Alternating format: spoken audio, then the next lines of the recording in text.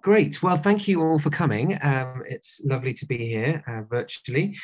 Um, I thought I would talk today about some work we've been doing in my research group over the past uh, couple of years, um, and, and also that we will be doing into the future for the next couple of years.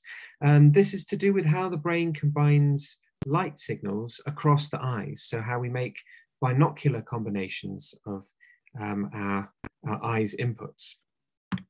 Um, so what I'll do is uh, I'll start off by, I guess, giving you a sort of almost like a maths lesson about how, in principle, the brain might combine information.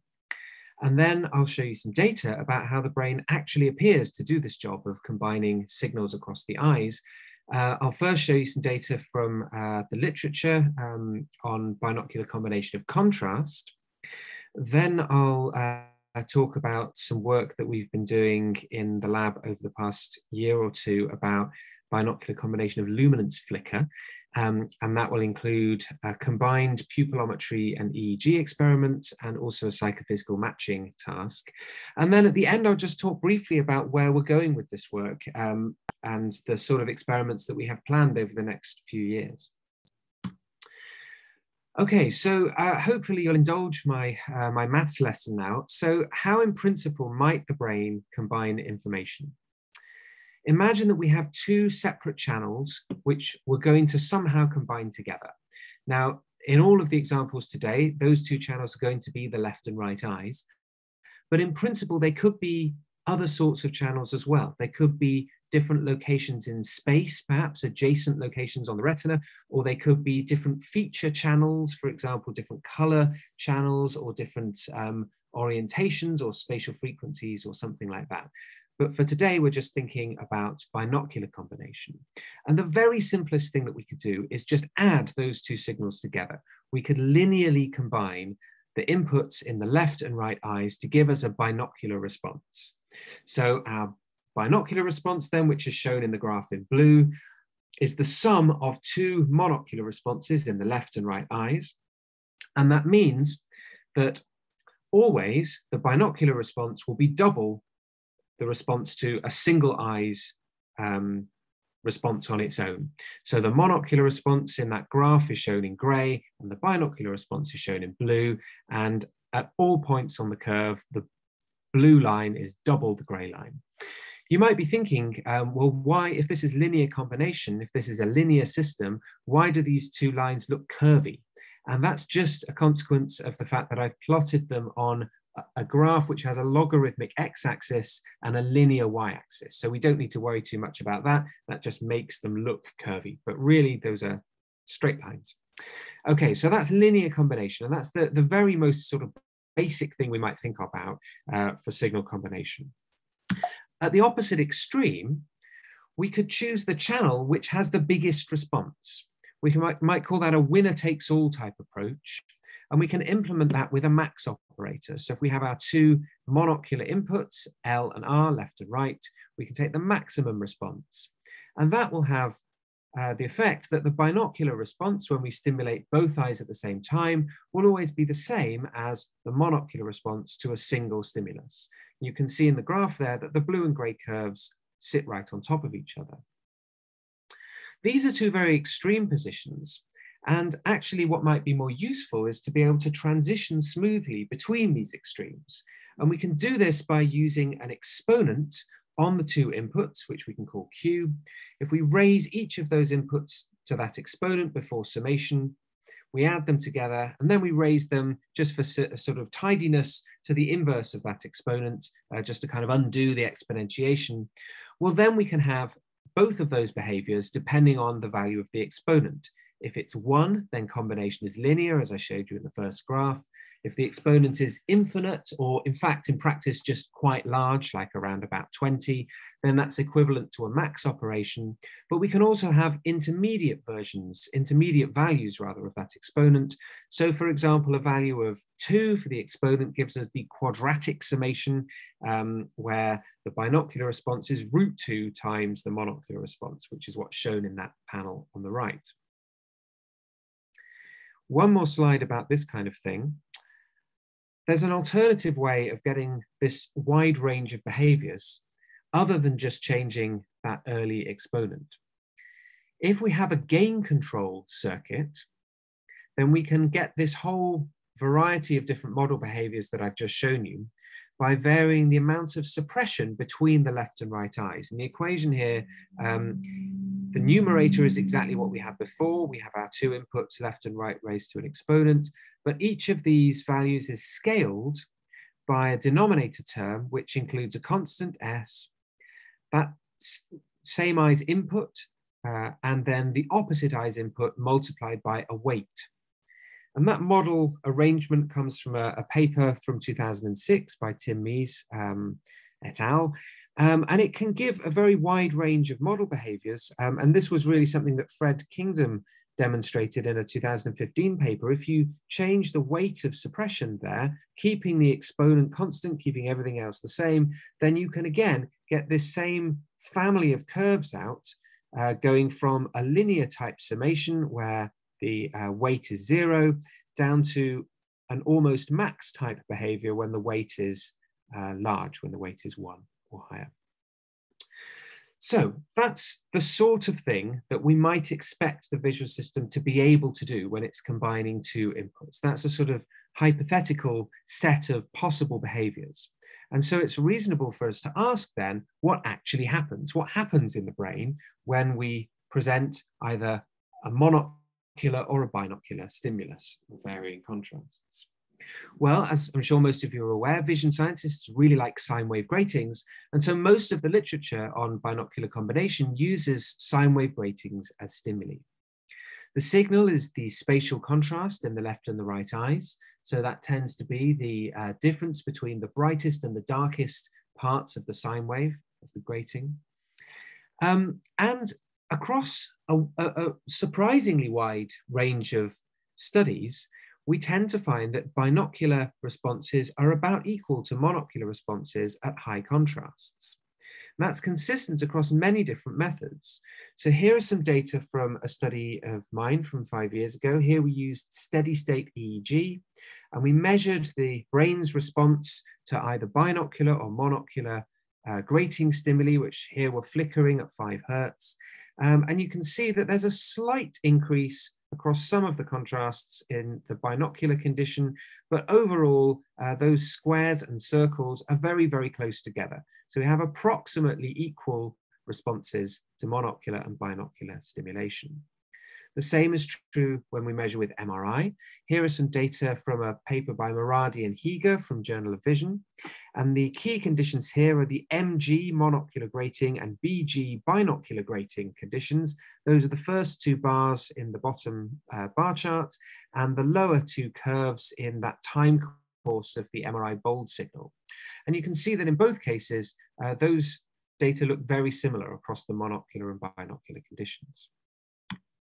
Here are some more recent data. These are from uh, a macaque neurophysiology study that was published this year in iScience by Mitchell et al. And here they looked at the time course of the response to monocular versus binocular stimuli, um, shown in three different time windows at the bottom there. Um, there seems to be a bit of a binocular advantage very early on in uh, around about the first 100 or so milliseconds. Uh, but by the time you get to 150 or so milliseconds after stimulus presentation, those two curves very much overlap. That's what's shown in the bottom right uh, curve there. So again, bin equals mon at high contrasts um, in V1. So that's uh, single unit data from V1. And then finally, uh, just to show you some classic psychophysical results, uh, these data are from a paper by Gordon Legge from the 1980s. And here he measured um, contrast discrimination thresholds for monocular and binocular presentation. And you can see that across that quite wide range of high contrast pedestal levels, our sensitivity at detecting an increment uh, in the contrast of a grating is about the same for monocular and binocular presentation. So if I'd been giving this talk about five years ago, I would have said, well, I think we've got the hang of this. I think we understand what happens um, in the brain when we combine stimuli across the eyes. Up at high contrasts, the brain achieves what we might call ocularity invariance by normalizing the signals across the eyes. So in other words, when we show binocular stimuli, they inhibit each other, they suppress each other to cancel out the additional excitation from having both channels, both eyes activated.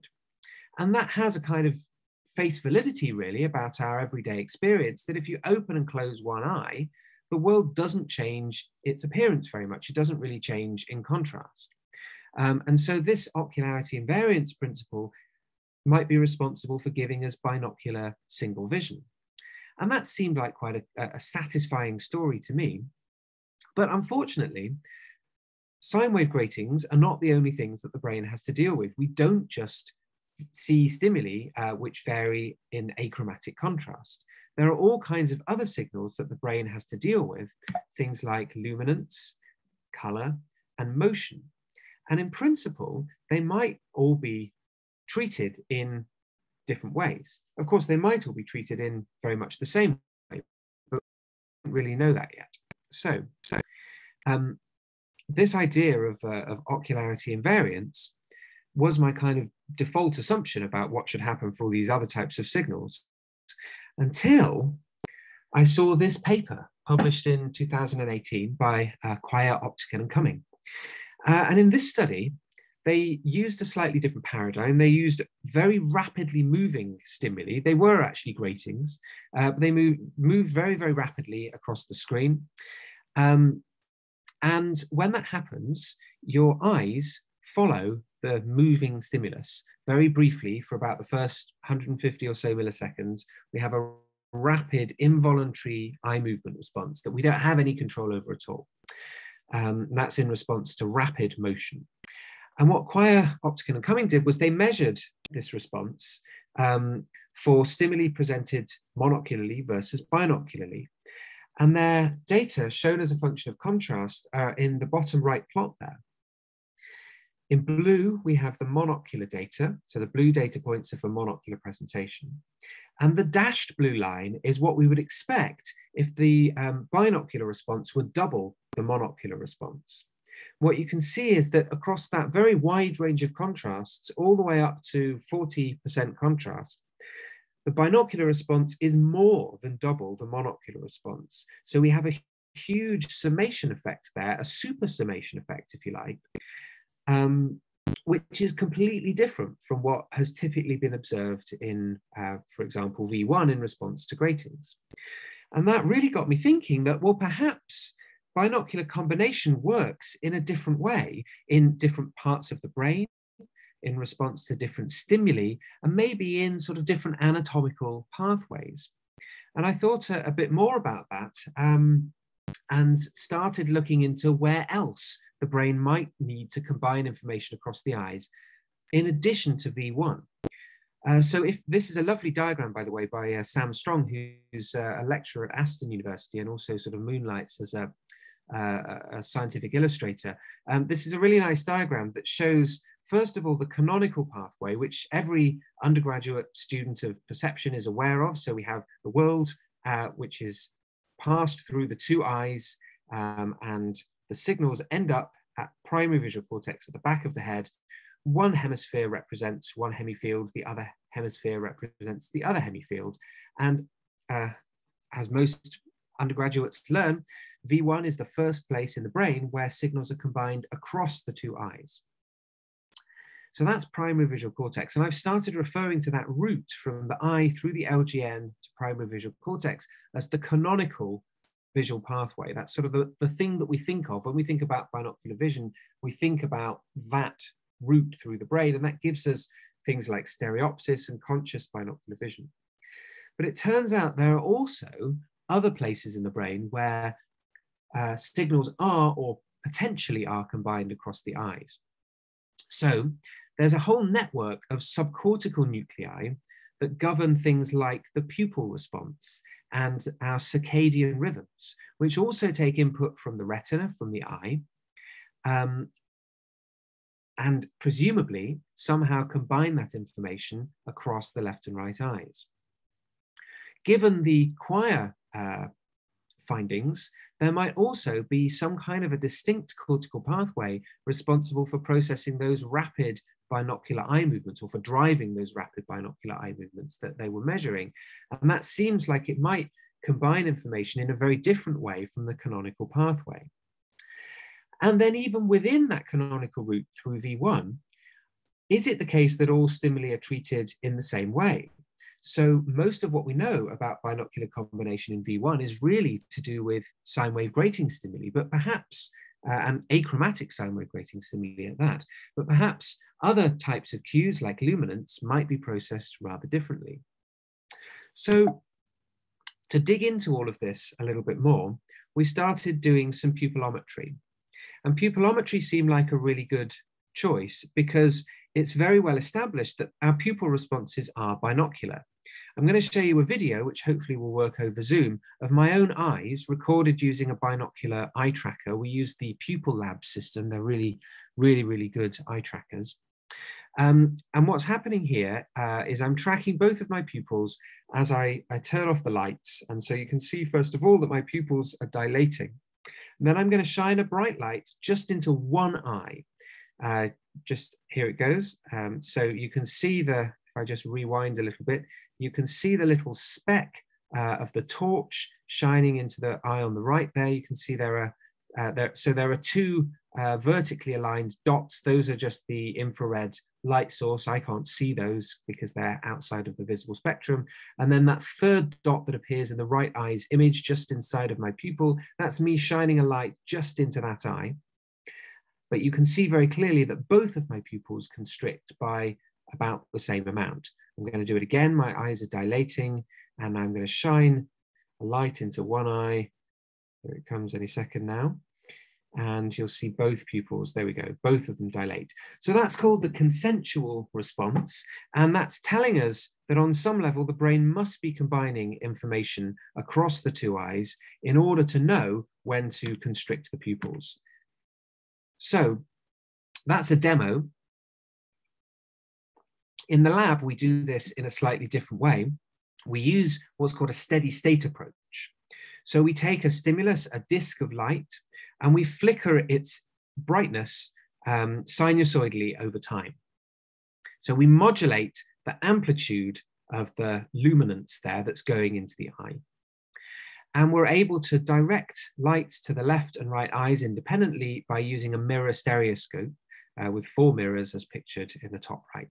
So we just use a, for this study, we just used a standard CRT monitor and we showed the stimuli on the left and right hand sides of the screen and then used the stereoscope to direct those stimuli in to the left and right eyes of the participant. And we record pupil diameter using that eye tracker continuously. And we also record EEG activity simultaneously. So when we produce flickering lights like this, uh, the pupil response is to flicker as well, I guess, to oscillate up and down, uh, to dilate and constrict um, along with the light. Uh, and just in the bottom right trace there, you can see some pilot data for when we were setting all of this up. The sine wave at the top is uh, the, the driving signal from the light. Um, and then the traces at the bottom in blue and in pink are the pupil diameters in the left and the right eyes. And you can see there's a very strong oscillatory component there at the driving frequency at two hertz. What we do with these data is to take the Fourier transform and to pull out the amplitude at the flicker frequency. And because we know precisely what the flicker frequency was, uh, we're able to get a really lovely well isolated signal in the Fourier domain. Uh, so you can see in the top plot there, we have a really clear spike at two hertz in our pupillometry data. And then in the bottom plot, uh, which is our EEG data, we also see a big spike at two hertz. That's the steady state signal. Um, and also it turns out for the EEG data, we get a second harmonic response as well at four hertz. I'll say a bit more about that um, in a moment. Now, the rationale here, the reason for doing simultaneous pupillometry and EEG is that we would expect that the pupil responses are probing binocular combination in that network of subcortical nuclei that I showed you a few slides ago, which govern pupil diameter. On the other hand, the EEG responses we take from right above early visual cortex. We take the uh, response right at the back of the head on top of uh, basically V1, V2, those very early visual areas. So what we're hopefully able to do with this paradigm is to dissociate activity in two completely anatomically distinct pathways, both of which are combining the same signals binocularly. And that means we can ask whether they're combining those signals in the same way or in rather different ways. So we collected data. We, we, we've actually run this experiment twice. We ran it as a pilot study, first of all, uh, on about a dozen or so participants. And then we made a few kind of very fairly minor changes to the stimuli. We put in some fusion uh, crosses around the outside just to, to, give participants an easier job of uh, fusing the stimulus. And then we ran it for real um, on a group of 30 participants. Um, most of this work was done by my PhD student, Federico Segala. Um, and we included quite a wide range of conditions. I'm going to talk about three of them today, monocular and binocular presentation across a range of contrasts, a range of flicker amplitudes. And then a third condition, uh, which was to show a two hertz signal to one eye monocularly, and then in the other eye to show a dichoptic mask signal at a different temporal frequency, uh, which allows us to look at interocular suppression. So to look at how the monocular response at two hertz is um, affected by flicker in the opposite eye, in the other eye. So here are some results. Pupillometry data, first of all. Uh, and what I've plotted here are contrast response functions for monocular and binocular and dichoptic conditions. The first thing to note is that we do get contrast response functions using this method. And I, I think this is possibly the first time this has actually been done. Um, I, I, don't, I'm not aware of other studies uh, where people have measured contrast response functions for pupillometry data in this way and using the Fourier spectrum and so on. So these we, we get contrast response functions, which is reassuring. Uh, it wasn't a given that we would do so. Um, and what we can see is that there's a, a, a, slight increase in the response to binocular stimuli across most of that contrast range there. Uh, on average, it's about 1.6 times the monocular response. So we're getting something of a, a facilitation effect. Uh, it's not the case that bin equals mon across the whole contrast range, so it looks like we might be getting to there by the very, very highest contrast. The other thing that we notice here is in the dichoptic condition. So remember that the target is the same as in the monocular condition, but here we've added an extra mask into the other eye. And what that does is it suppresses the monocular response. So we get a reduction, a rightward shift, actually, if you like, of the contrast response function. Um, so that's evidence of interocular suppression there. So those are our pupillometry data. What happens with EEG?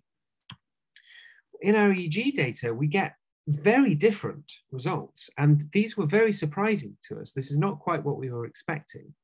So these um, signals are coming from the very back of the head, right above early visual cortex. So the electrodes in the EEG montage are shown in that um, diagram there, but they're OZ, POZ, O1, and O2. So right at the very back of the head.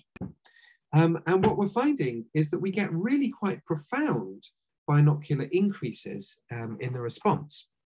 So that looks like um, at the very highest contrast, about three times greater response to binocular stimulation compared to monocular stimulation. And that's very, very different from what we see with spatial modulations of luminance like sine wave gratings. Our stimuli here are temporal modulations. Um, so we're still changing the luminance, but we're modulating it over time instead of over space. And intuitively, sort of naively, I might have expected that the brain would treat those two signals quite similarly.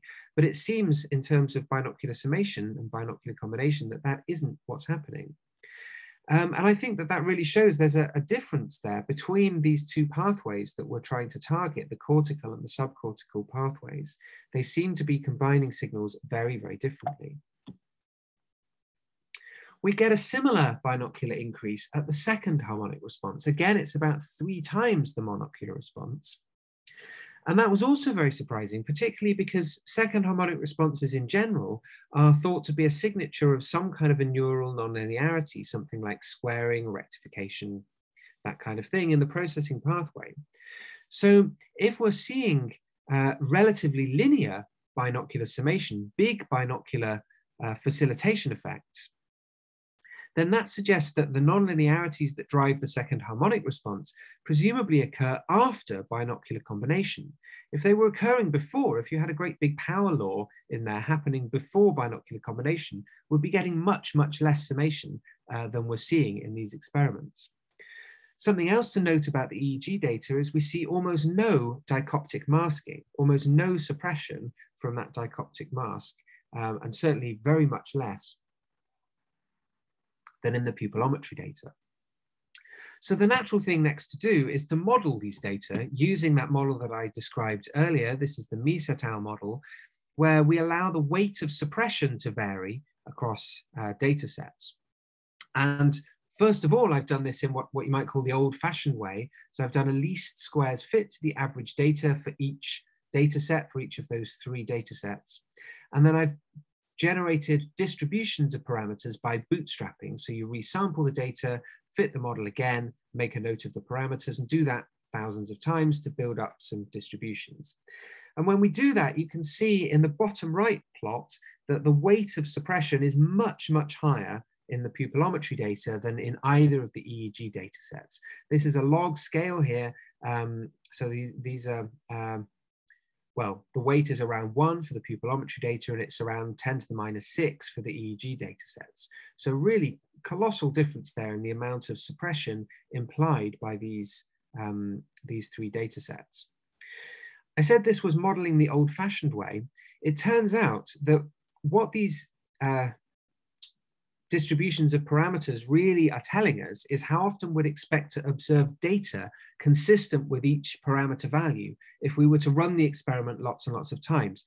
Now, technically, that's not really what we usually want to know uh, when we're doing this kind of modeling. What we really want to know about is the probability of the model parameters being correct. So really, the correct way to do this is a Bayesian modeling approach where we generate instead the posterior parameter distributions.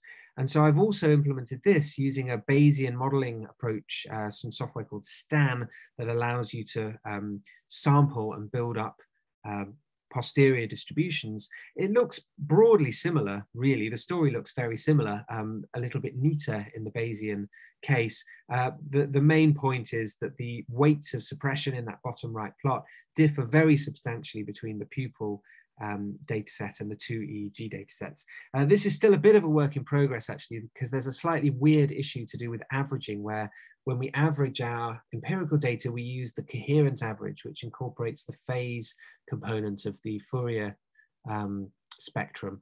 Uh, and unfortunately, the Bayesian model at the moment, at least, doesn't know about that. And so it gets the averages slightly wrong, which is why the curves in the top three plots don't sit beautifully on top of the points as they did with the least squares fits. But you can see that the character of those model uh, fits are broadly correct. They're broadly doing what the, what the data is doing. Uh, it's just that we don't average in exactly the same way between the model and the data. Anyhow, the main point to take away from this is it looks like we get very different responses from different binocular pathways that we can probe using EEG and pupillometry at the same time. It looks like the EEG um, responses, which sh should be indexing the cortical, the canonical pathway, actually seem to be quite linear and feature very weak interocular suppression, whereas the subcortical pathway, the responses from the pupils, are much more nonlinear and involve stronger suppression between the eyes. And both of these findings are really very different from what we see for spatial contrasts, for gratings.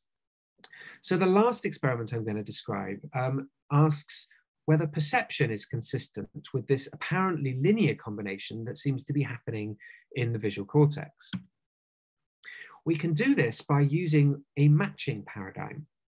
Uh, and this is a, a very time-honored psychophysical way of looking at binocular combination. The idea is that we take a standard stimulus, which is the same uh, signal in both eyes, and we match that to a target stimulus, which might differ between the eyes. And we can plot the results in a two-dimensional space as shown on the right, the left eye's contrast shown on the y-axis against the right eye's contrast on the x-axis if we want to uh, have a target where the signal is of equal strength in the two eyes, that means that we're matching along that diagonal gray line that I've just plotted. if we want to have a target where one eye has no signal in it at all and the other eye has all of the signal, then that means that we're moving along uh, the vertical and the horizontal. And we can also take different ratios of left and right eye signal intensities um, and find thresholds along all of these radial lines coming out from the origin. And the question then is where along these lines do participants make a match to indicate that the binocular standard looks the same as uh, the target stimulus? Within this space, we can get predictions from the sorts of models I talked about earlier. So along the off diagonal is the prediction of linear summation. And that box, that square, is the winner take all prediction that we talked about early on, where just the eye with the stronger signal dominates uh, our perception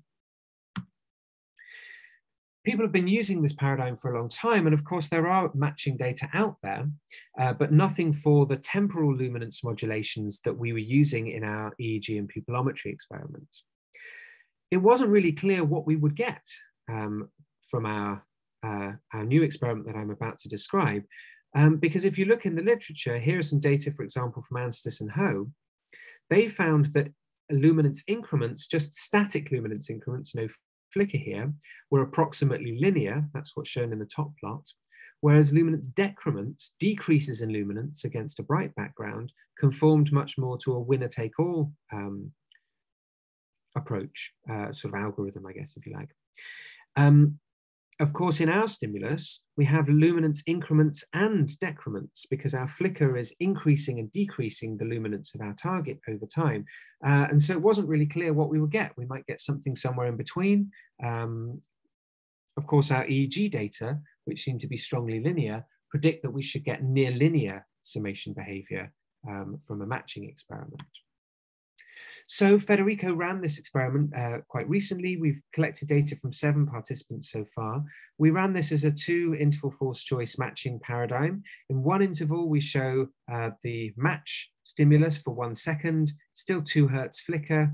Um, in the second interval, well, in the in the other interval, because we interleave, we randomize the order of the intervals. In the other interval, we show the target uh, stimulus, which can have different um, intensities in the two eyes.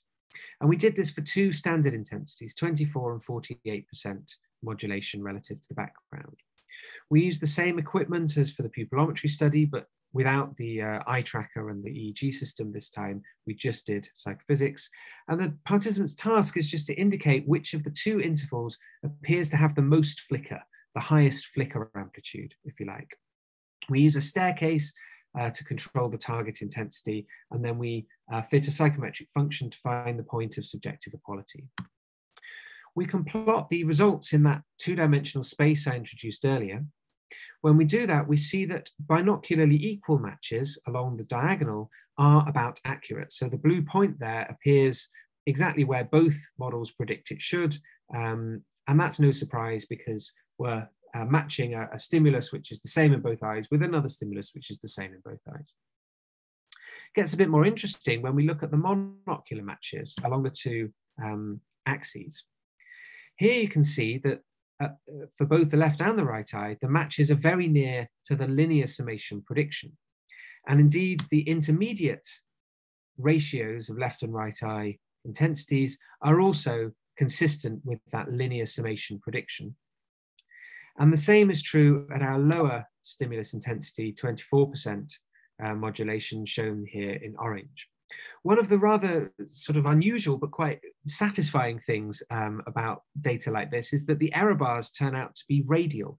They're plotted along those radial lines which meet at the origin because um, the data are constrained to be somewhere along that line. So that's how the error bars end up being generated. But anyway, uh, these data are very clearly consistent with a near linear summation process for flicker perception, just as our EEG data uh, would predict. So what have we seen today? So first of all, for spatial luminance modulations, uh, so for grating type stimuli, it seems pretty clear from a, a, a, wide number of studies, a large number of studies in the literature, a wide range of modalities, that binocular and monocular responses are approximately equal in V1 and subsequent areas um, of visual cortex. However, our new data suggests that for temporal luminance modulation, sum summation can be very much more linear. um, particularly uh, across our EEG and psychophysical results, um, they seem to be much closer to a, a linear binocular combination. However, in the subcortical pupil pathway, there seems to be a rather stronger nonlinearity. There seems to be more interocular suppression there um, than we see in the cortex. And that tells us that different anatomical pathways seem to be combining stimuli across the eyes, signals across the eyes in rather different ways. They may use different algorithms or rather different parameters for the same overarching algorithm. And there might be some adaptive explanations for why uh, that should be the case, for why interocular suppression might need to differ between different pathways and indeed different stimulus types. And that's what we're trying to understand over the next few years. And we were very lucky, uh, Alex Wade and I, uh, to get a, a, grant from the BBSRC to look at this. We called it non-canonical binocular pathways in human vision. The idea is to look at some of these alternative um, algorithms and places in the brain where signals are combined across the eyes. We've got four main strands that we're planning to work on. First of all, we're going to extend the paradigm that I've described today using EEG and pupillometry, but this time we're going to look at responses in different photoreceptor pathways. Uh, so we bought some really amazing devices. They're um, light engines that have uh, multiple LED primaries. So they have 10 primaries. We bought two of these so we can stimulate the left and right eyes independently. And we're going to use a rather nifty technique called silent substitution that I'm sure many of you are familiar with that allows us to target specific photoreceptor channels. Uh, and we're particularly interested in the melanopsin response from intrinsically photoreceptive ganglion cells because those um, are, well, they, they play a big role in uh, driving the pupil response. So uh, that's one strand of our project. We also want to extend the Quaia et al. work looking at the ocular following response. And one possible explanation for that is that there might be a direct route between the LGN and MT, uh, which uh, anatomical studies indicate involves the coniocellular pathway. Um, and it's possible that that direct route, because it's coming from the LGN, which is monocular, might be a distinct cortical uh, location where binocular combination occurs. So it might be that if we're able to target that particular pathway using isoluminant blue-yellow stimuli, we might be able to um, dissociate that very, very rapid eye movement um, signal from more typical binocular combination and binocular processing.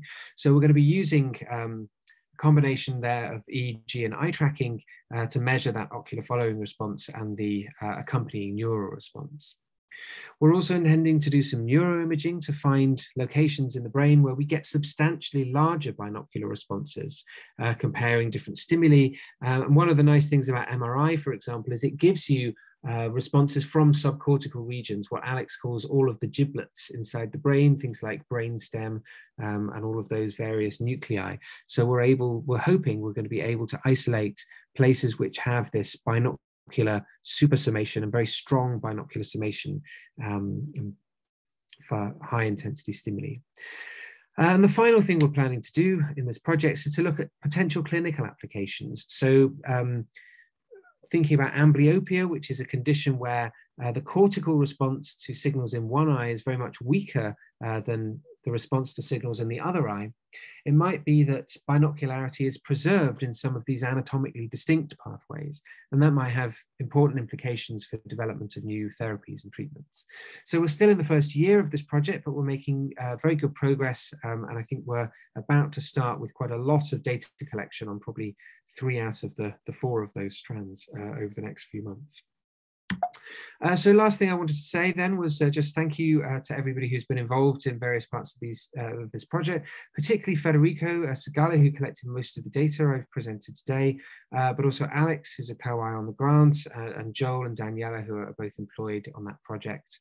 Um, and thank you to the BBSRC funding and to also to all of you for listening to what I was uh, saying today. Marvelous. Thank you very much.